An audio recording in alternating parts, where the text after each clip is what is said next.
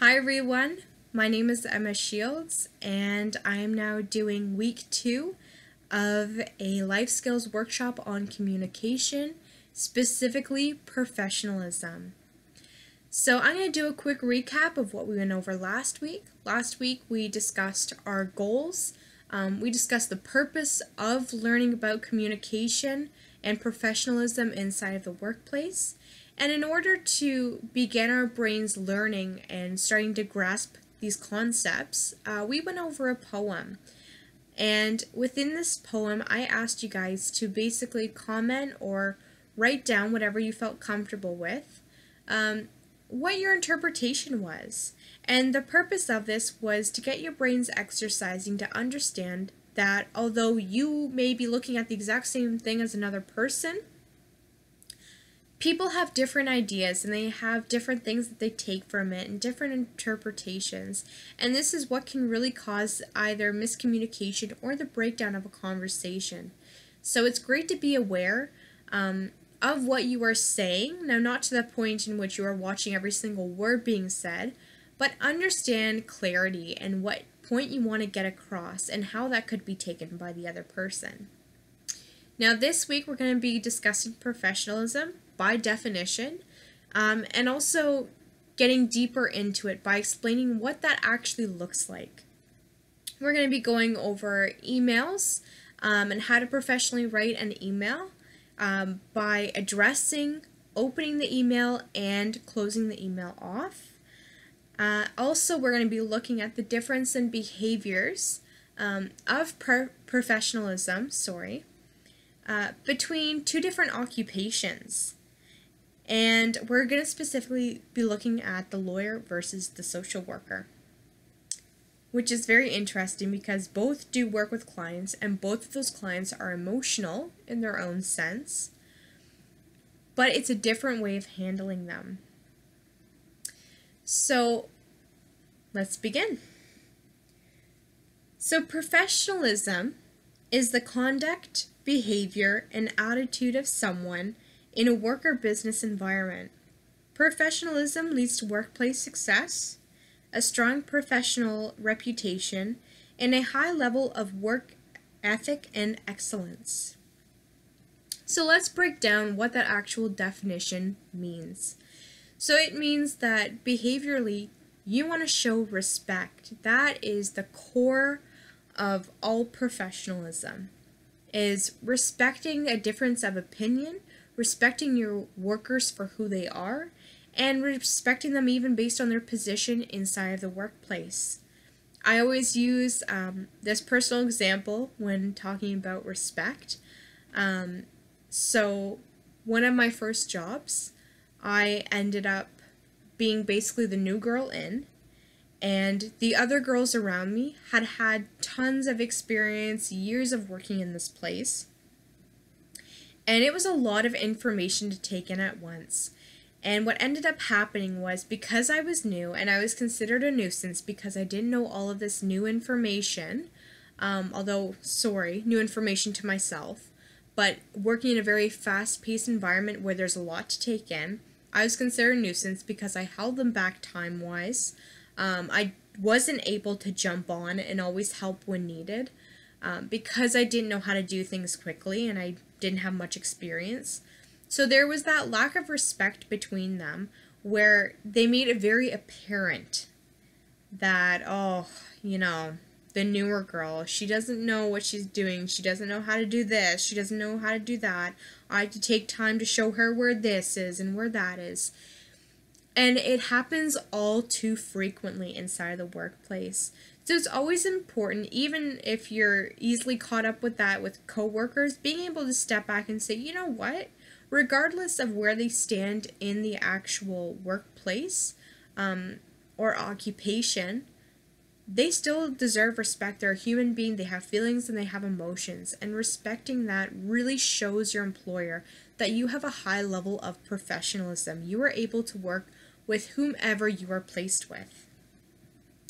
Uh, another aspect of professionalism that is so important is boundaries. Boundaries are key. Knowing when to say yes and when to decline and say no. Um, now, I I'll always suggest if you are in that three month period of probation at your new workplace, try to say yes as frequently as possible when you're asked to do tasks. Now, you might not know how to exactly do those tasks, but this is a great opportunity to show that you are adaptable to new situations and that you are teachable and have great communication by asking your coworkers, you know, what are your thoughts or views on this? What is your insight into this? Or could you help me do this possibly? This shows great teamwork and great amount of professionalism while maintaining respect and boundaries with those around you. Um, now, the only time that I would say if you're in a probation period and you have to say no would be if your safety is compromised. Um, if you're in any trade and you are asked to do something that you know could put you at a high risk of being harmed or hurt, uh, don't don't take it on. Um, if you are, let's say, an architect and you are used to a design that, let's say, is more vintage and you're asked to do a contemporary design and that's not your comfort level, say yes. This is a great opportunity to learn a new skill and be able to work on an area that's not a strength of yours. Um, so, in that sense, know your boundary of saying, yes, I could do it. So, I wanted to also touch on being teachable as well. This is so, so crucial in professionalism. It's okay to admit, you know what, I have no clue how to do this, but I'm willing to learn. I want to know, and could you please show me? This shows your employer that you're actually able to work your way up in the business, which is so important um, and so beneficial to you as an employee. So I'm going to get you guys to look at um, two videos, and you could choose ones that are 30 seconds, a minute, two minutes, whatever you would like. There's no time frame put on them. Um, but I would like you to watch an interaction between a client and a lawyer, and then a client and a social worker. And if you could comment below our journal, just like you did with the mindfulness activity last week, um, share your thoughts. What what was the contrast between the two? Did you notice that there were similarities in the way that they converse with their clients? Did they show consistent eye contact? Was there a position of seating where you noticed that they were equal to each other? Or was one person higher up and the other person was sitting lower? What are the little things that you noticed about the conversations? Did you notice any tenseness from the client or from the lawyer, from the social worker? And what did that look like? Um, I think it's so cool to look at different professionalism um, techniques and especially, I love the occupation of lawyers, I must say, because they deal with very vulnerable individuals just as social workers do at times. And they have a different way of conveying professionalism, though. They push boundaries. They um, are not as emotional sometimes as a social worker is. They're not going to sit there and have no views, no judgments. They're going to say, listen, this is how it is, and this is what has to be done. And I think it's so interesting to see the difference and contrast between those two occupations. Um, so now, after doing this activity, please pause the video if you're going to take time to do that right now or take time after. Um, we're going to talk about professional emails. So this is so important when it comes to professionalism because these emails, if you've not met your employer, employees, or if you're contacting somebody completely different who's another professional, um, this is basically your way of asserting who you are. So the email is their first impression, first interpretation of who you are. So if you're sending a highly um, unclarified, unprofessional email, they're going to take you as you're not a very serious person in this matter. Um, so it's important to convey yourself in a certain manner over email. So I'm going to talk about how to basically start off that email or how to address an email. Um, when sending something professional, I mean, you can stick with your typical dear so and so. Um, but try to stray away from that. Um, unless, you know, it's just what you're comfortable with, and just make sure that the actual body text um, and what you're trying to convey mes- message wise is highly professional, then. Kind of do a balance. Um, if you're not sure about who specifically you are addressing, let's say it's a I have no idea, a whole we'll use the lawyer, a whole lawyer's firm.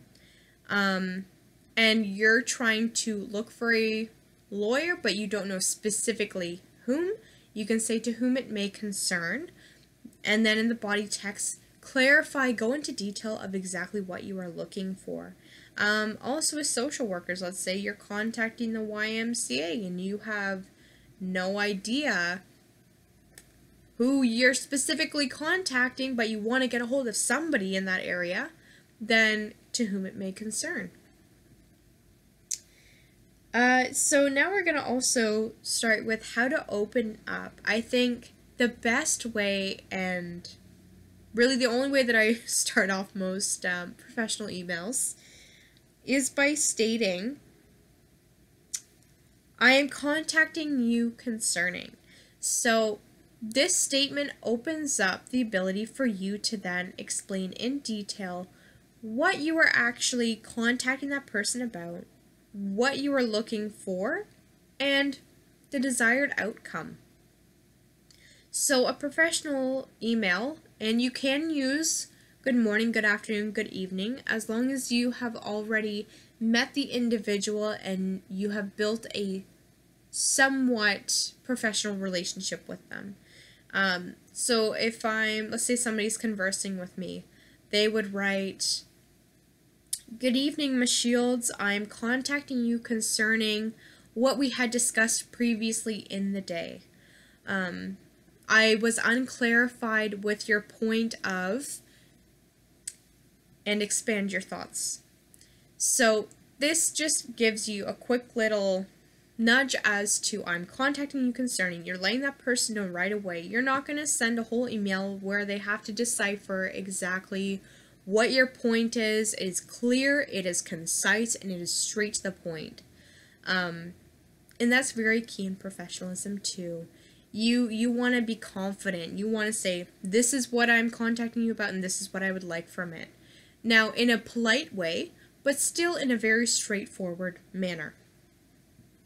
Um, and closing off, you can say, um, what I tend to do is I tend to thank that person for their time, professional to professional, although I'm not considered professional at all, but in a professional way.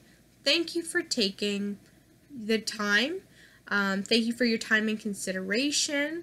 Um, I look forward to hearing back from you. Anything that lets that person know that you're anticipating a response back and that you value their response back. Um, and then closing and finishing off the actual email itself, you can write with regards, kindest regards.